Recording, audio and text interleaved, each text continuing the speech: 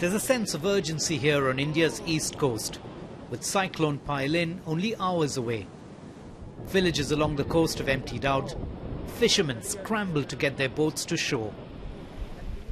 Already there are signs of what's in store, with strong winds bringing down trees and heavy rain lashing the coast.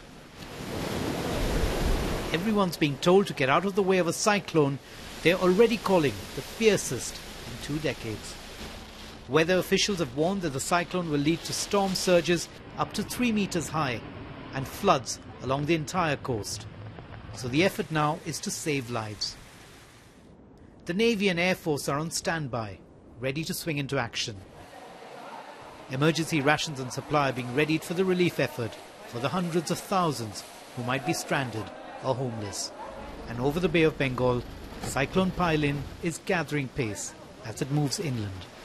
Cyclone Phailin is expected to make landfall at a point about 15 miles from where I am on the coast. And as you can see, the weather conditions are getting intense with every minute. The authorities have done all they can to get people away from these areas and into shelters. So now all that everyone is doing is waiting and preparing for the worst. Sanjay Majumdar, BBC News, Orissa.